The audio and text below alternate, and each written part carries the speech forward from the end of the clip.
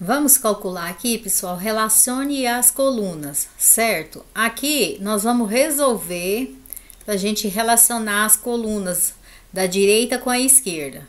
Por exemplo, na, aqui, ó, na letra A aqui, nós temos 10 ao quadrado.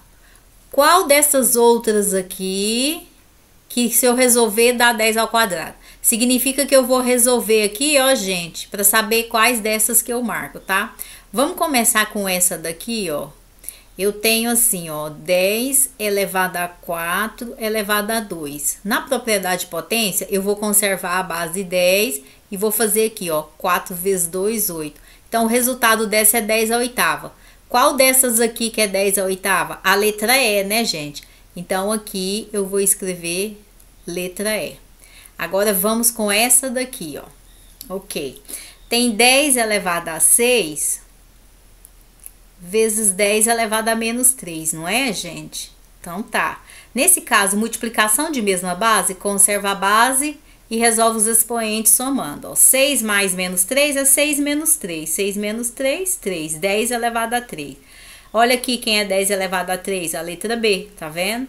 Então, a gente vem aqui, coloca a letra B. Agora, vamos para essa daqui, ó.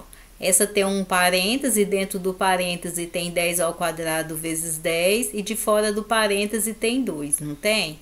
Eu posso resolver dentro do parêntese primeiro, ó, conserva a base, conserva a base e soma os expoentes. Aqui nesse 10 tem 1, ó, e 2 mais 1, 3, certo? E conservo o 2 do lado de fora. Feito isso aqui, ó, vou conservar o 10 novamente, vou fazer aqui, ó, 3 vezes 2, 6 é 10 elevado a 6. E é, ó, quem é 10 elevado a 6? A letra D. Então, vou colocar a letra D aqui, tá? Agora, essa daqui. 10 elevado a 9 dividido por 10 elevado a 7. Na propriedade potência, quando a gente tem divisão de mesma base, conserva a base e diminui os expoentes. Ó, 9 menos 7, 2. Então, a resposta é, é 2 ao quadrado 10 elevado ao quadrado.